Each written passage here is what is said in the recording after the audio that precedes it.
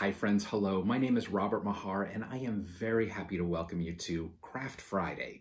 This is Spoonflower's second annual creative alternative to Black Friday and I am delighted to be presenting to you again this year. And I am especially excited because I'm being joined by 13 other amazing creatives from around the globe who have all been hard at work preparing free DIY tutorials just for you. So whether you are watching me on the actual Craft Friday or watching this recording at a later date on Spoonflower's YouTube channel, know that 13 other amazing projects have dropped at the same time and are waiting for you to check them out.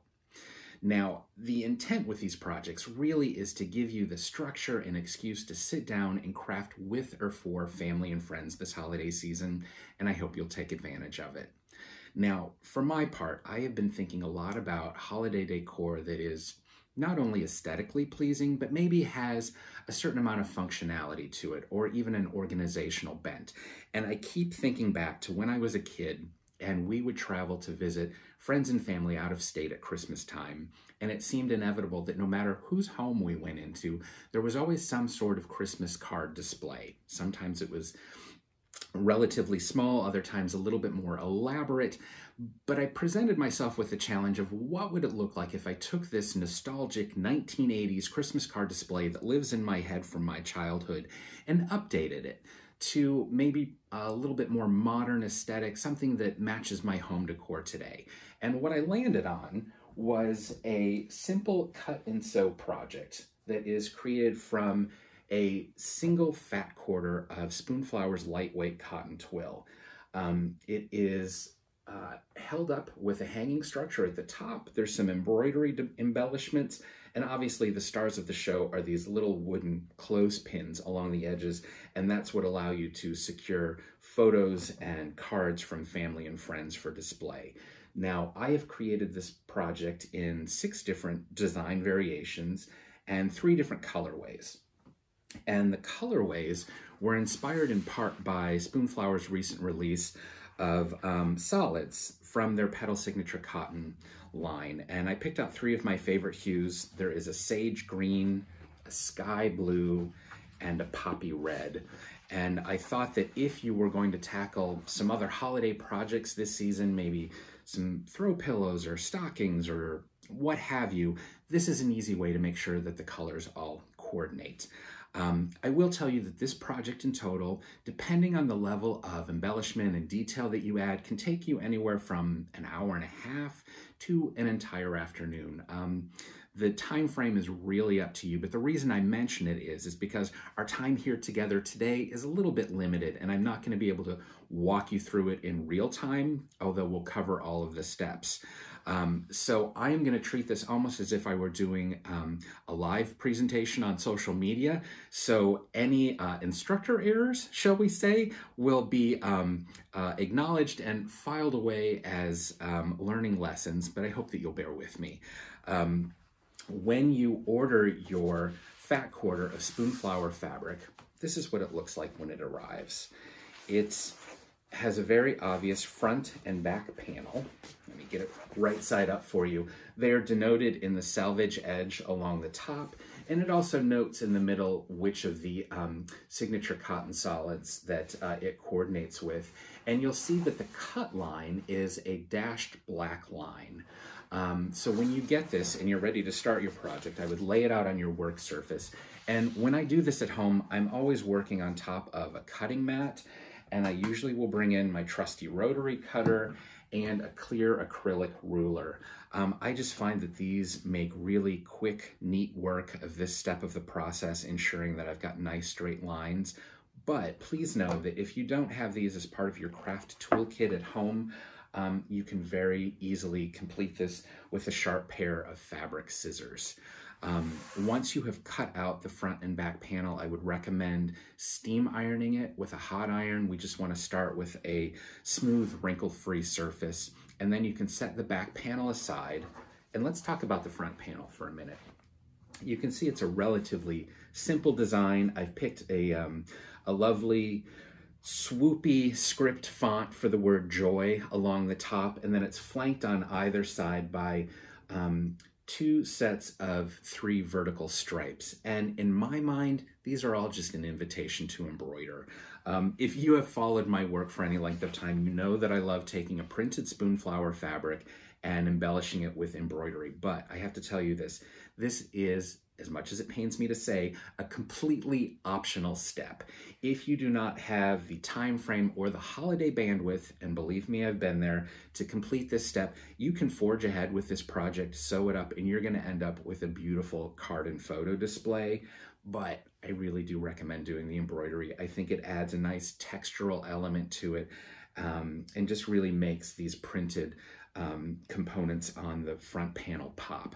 So um, I will tell you that if, like me, you benefit from um, having some written instruction in addition to the video, I have prepared on my website, which is robert-mahar.com, a complete um, written blog tutorial that has all of the steps from A to Z and photographs to go along with each of them to kind of reinforce what we're going to be talking about today. Um, this is not really an embroidery tutorial, so if you are new to embroidery, I've also embedded some great um, short format video tutorials in that blog post that will walk you through this. Um, but let me tell you what I did for mine. I decided that for the, the text, for the word joy, I wanted to do that in a whipped back stitch.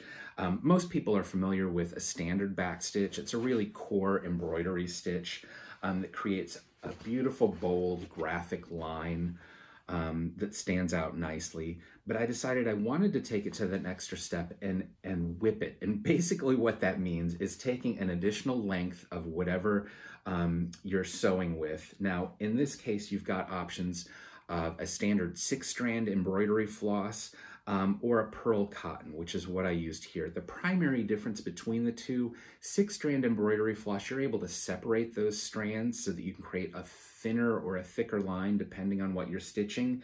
Um, pearl cotton is just thicker by very nature and it's got kind of a rope-like quality to it. I just decided that's what I'd like to stitch with in this beautiful ecru color. When you take an extra length of the floss though, and weave it through your back stitch, it creates this really kind of lovely tactile thick rope quality to it. And that's what I was looking for. So once you have completed stitching up your text in the back stitch, all you need to do is take a length of pearl cotton or embroidery floss if that's what you're working with. I usually cut a piece that measures about from my elbow to the tip of my finger, which is 12 to 18 inches. You're gonna come up next to the very first stitch in your line, and then from that point on, you're weaving it through the stitches on the surface of your fabric. You're not going in and out of the fabric itself. So what I'll do just by way of demo is I'm gonna come up next to the very first stitch in the J for joy, and I'm gonna turn my needle on its side and slide it underneath that first back stitch and then I'm going to do it again in the second and third and so forth. Um, again, you're always entering it from the same direction. I'm going from right to left. And as I weave it through, it creates a much bolder graphic line and a really pretty rope-like texture. So I hope that you'll explore it. Again, there are video tutorials that show these specific embroidery stitches um, in the blog post that is on my website.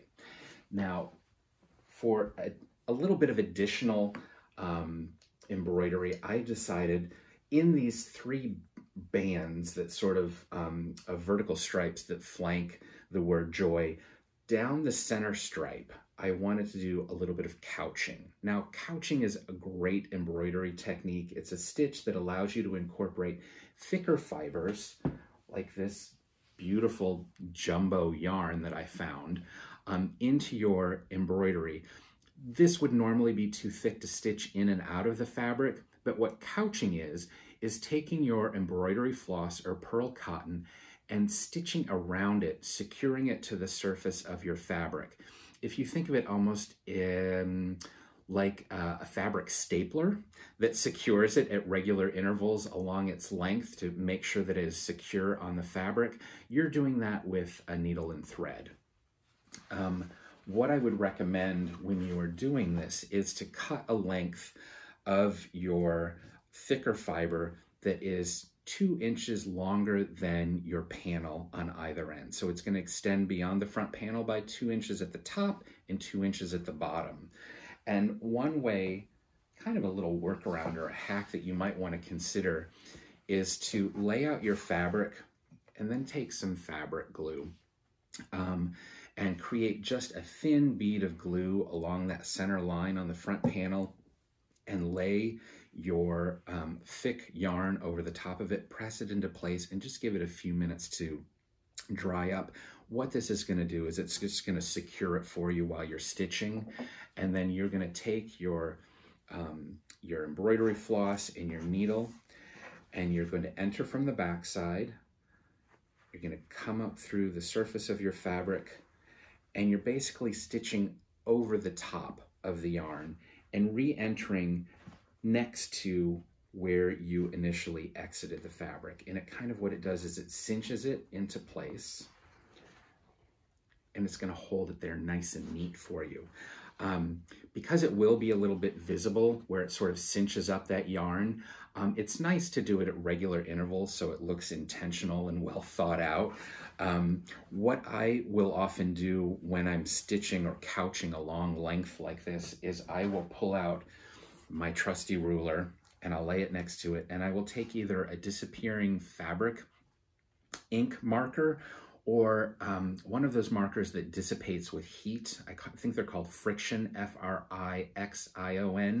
Um, you can find them in any sort of office supply store, but it allows you to go along and just make a little dot every inch along the way, and that gives you a point to aim for when you're stitching and doing the couching work.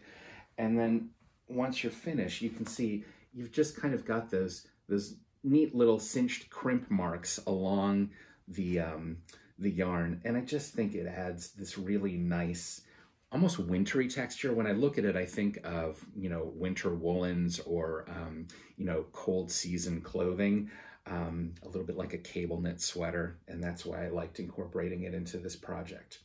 So my friends, once you have completed any of the embroidery embellishment that you want to do on the front of your panel, it is time to um, set this aside and we're gonna do a step on the back panel. And let me show you what that is. We're gonna be looking at adding some hanging loops to the top and the bottom of the back panel. Um, you can see that there are three loops along the top and there are another three loops that was a little wonky there, but there are another three loops along the bottom. And um, this allows us to um, not only um, have a dowel in the top so that we can hang it, that dowel at the bottom just adds a little weight so that the display will hang um, nice and straight. Uh, your hanging loops can be created from a variety of materials. I recommend either using some cotton twill or some grosgrain ribbon. And um, I also would recommend either three quarter of an inch width or an inch width for these. And you're gonna cut out six pieces because we've got three loops across the top and three loops across the bottom. And you wanna cut them out in a three inch length. So go ahead and cut those out in advance. And then what I like to do just to make sure that they are nice and secure is I'm gonna go back and tack them to my panel with just a little bit of fabric glue. Um, this assures that they're not going to shift when we're machine sewing the perimeter of our panel. And so I'll just take a little bit of fabric glue, dap it there. I'll measure out a point in the center of the panel and glue my first ribbon there.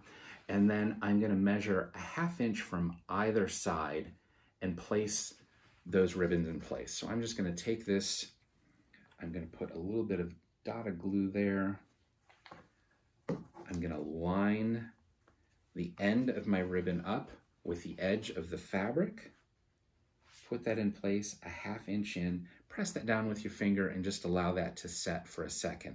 Then what you're want, going to want to do to complete the loop is to then add a second dot of your fabric glue, just a little bit. Fold the other end of the ribbon up to create your loop. And then what I would recommend is taking a little fabric clip. Um, I stopped using pins for the most part a couple years ago. I just got tired of poking my fingers all the time. These little fabric clips have been a godsend and you can kind of clip it into place and it'll cinch it and secure it there for just a few minutes while the glue dries. If you don't have fabric clips, I know you've got these little um, clothespins that we're going to be using later in the in the project, and you could just use those to hold it in place as well. But essentially, again, what this is going to do is it'll look like this when you're finished. Um, all of those loops just sort of glued into place and ready to sew.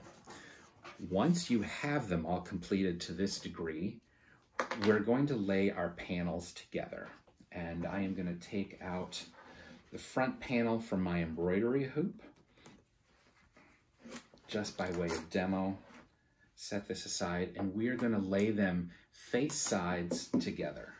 So the front of my panel against the front of the back panel, you want to line up all of those edges and then you want to clip it all in place. Pinning is fine if that's um, what you have on hand, but I usually like to use these little fabric clips and clip it liberally. Um, there's nothing worse than um, sewing a project, getting to the end of it, and realize that um, your, your panels were misaligned. So go ahead and do that.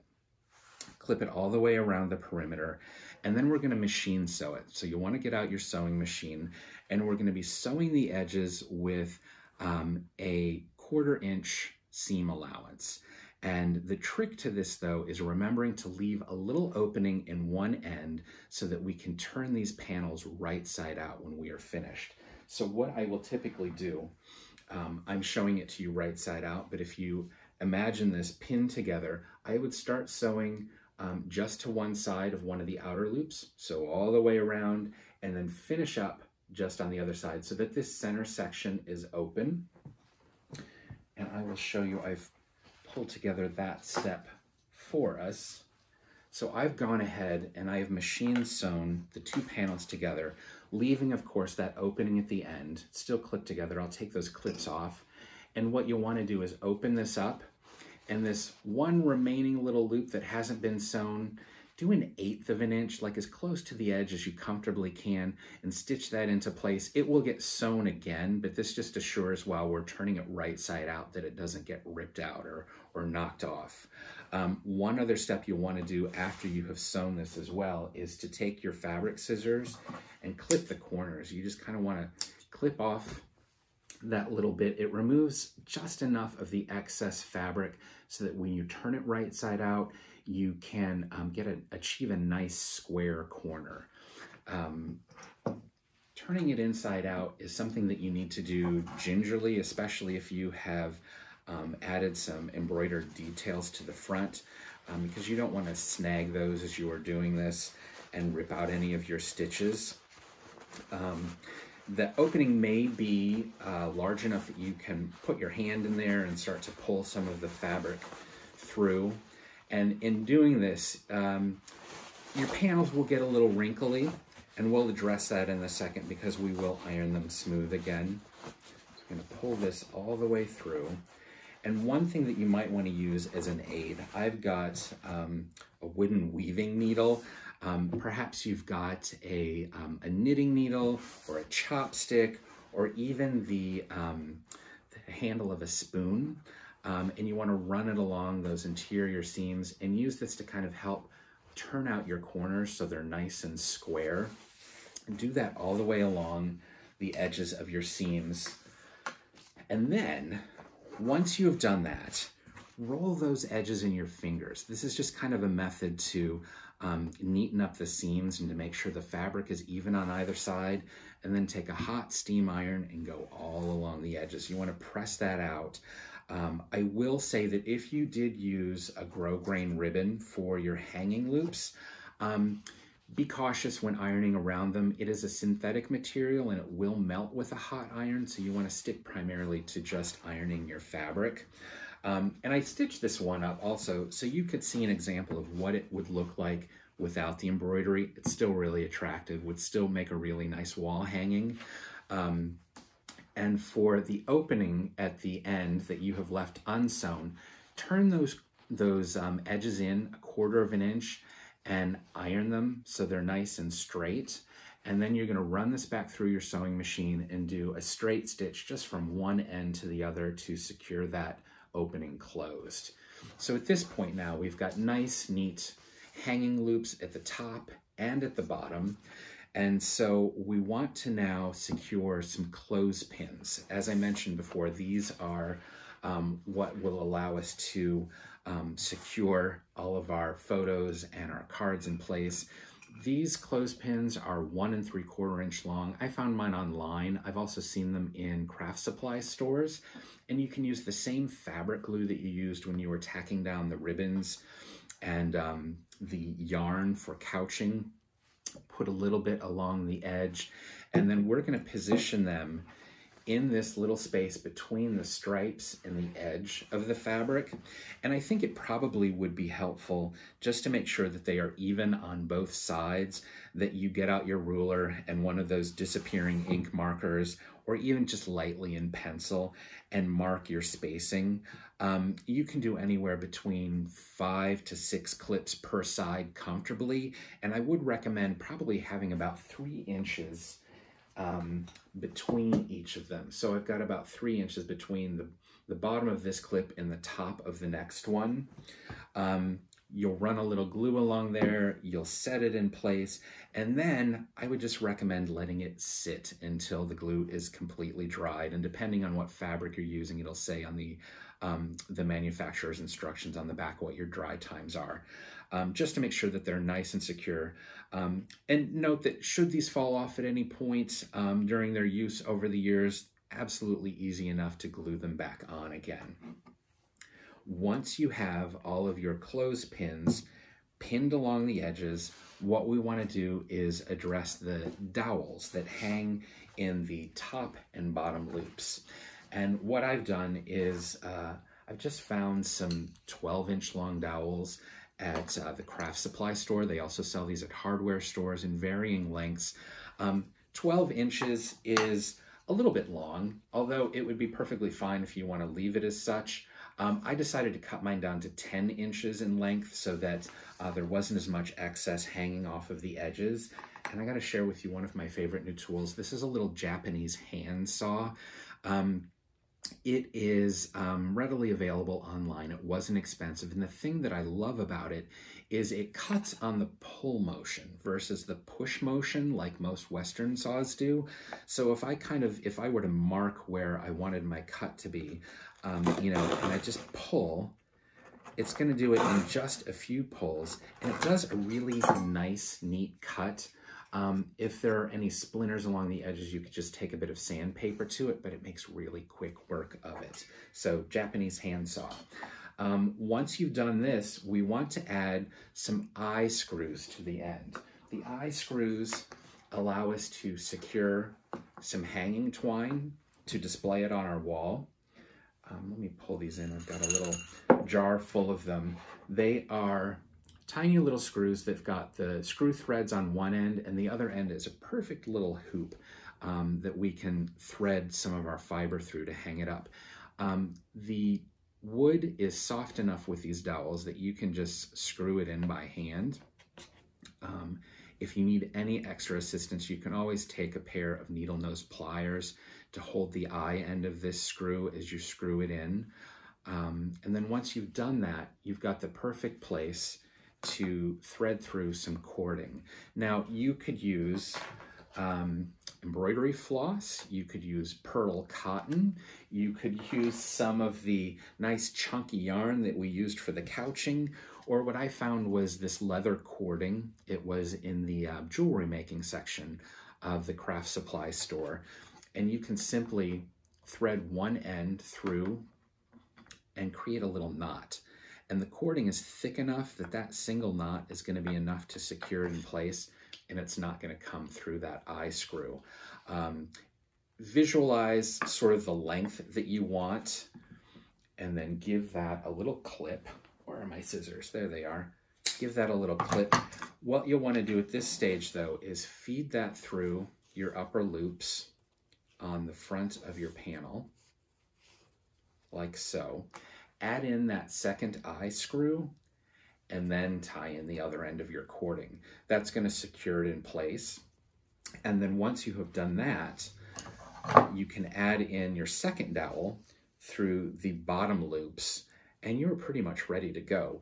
Um, the bottom loops, full disclosure, uh, they probably aren't 100% necessary. The weight of this lightweight cotton twill is enough that it's going to hang nice and straight, and especially once you have the added weight of the pinned um, cards and photos on the front, but I like the symmetry of having it at the top and the bottom as well.